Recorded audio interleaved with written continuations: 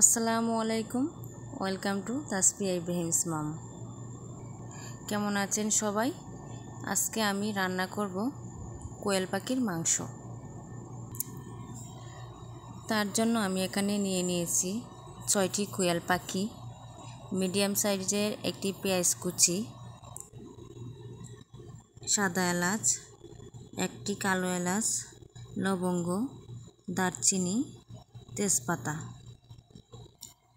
এক চা চামচ আদা বাটা, এক চা চামচ রসুন বাটা। আর নিয়েছি পেঁয়াজ আর টমেটো পেস্ট, তিন চা চামচের মতো। এখন আমি চুলার মধ্যে একটা প্যান বসিয়ে দেব। প্যানটা গরম হয়ে গেলে এর মধ্যে আমি এক কাপ তেল দিয়ে দিব। তেলটা গরম হয়ে গিয়েছে, এখন আমি এর মধ্যে দিয়ে দিব। গরম মশলা দিয়ে দিব। গরম মশলা দিয়ে আমি হালকা নেড়ে চেড়ে দিয়ে দিব পেঁয়াজ কুচি। পেঁয়াজটাকে আমি ভালোভাবে ভেজে নিব। যতক্ষণ পর্যন্ত এটা ব্রাউন কালার হয়ে আসে। আমার পেঁয়াজটা গোল্ডেন ব্রাউন হয়ে গিয়েছে। এখন আমি এর মধ্যে দিয়ে দিব। এক চা চামচ রসুন বাটা, এক চা চামচ আদা বাটা। দিয়ে একটু নেড়ে চেড়ে নেব। এখন আমি এর মধ্যে পেঁয়াজ আর টমেটো পেস্টটা দিয়ে দিব। এখন আবারও এটাকে ভালোভাবে নেড়ে চেড়ে নেব। যতক্ষণ পর্যন্ত এক কাঁচা স্মেলটা দূর হয়ে যায়। পেঁয়াজ, আদা, রসুন এগুলোর একটা কাঁচা একটা গন্ধ থাকে। তাই জন্য আমি এটাকে ভালোভাবে ভেজে নিব।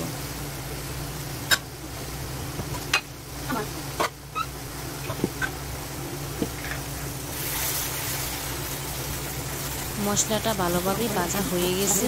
এখন আমি এর মধ্যে গুঁড়া মশলাগুলি অ্যাড করে নিব।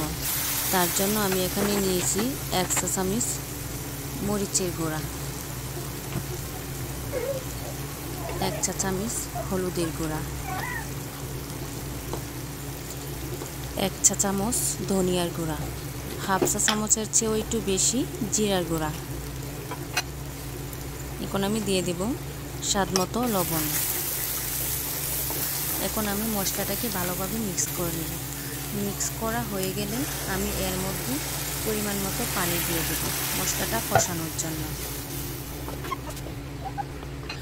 হালকা নেড়ে চেড়ে আমি ডাকনা দিয়ে ডেকে রাখব, যতক্ষণ পর্যন্ত মশলাটা কষে আসে। অপেক্ষা করব, কিছুক্ষণ পরে আবার ফিরে আসব। ডাকনাটা খুলে আমি আবারও নেড়ে চেড়ে নিব, যাতে মশলাটা নিচে থেকে লেগে না যায়। আবারও ঢেকে রাখব। আমার মশলাটা প্রায় কষানো হয়ে গিয়েছে, এখন আমি এর মধ্যে মাংসগুলি অ্যাড করে দিব, দিয়ে ভালোভাবে মিক্স করে নিব। আমি এখানে কোনো পানি অ্যাড করব না, কারণ মাংস থেকে অনেকটা পানি বের হয়ে মাংসটা সিদ্ধ হয়ে যাবে। এবার আমি ডাকনা দিয়ে ঢেকে রাখব কিছুক্ষণের জন্য। কিছুক্ষণ পরে আমি ডাকনাটা খুলে আবারও নেড়ে চেড়ে নিব।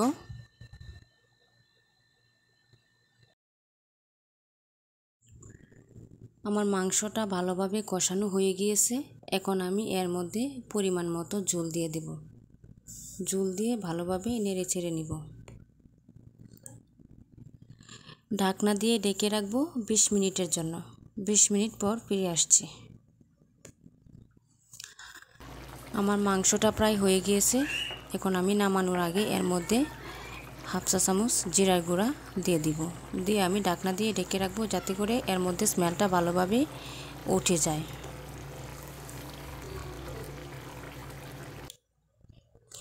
আলহামদুলিল্লাহ, আমার রান্নাটা হয়ে গিয়েছে। এখন আমি আপনাদেরকে পরিবেশন করে দেখিয়ে দিব।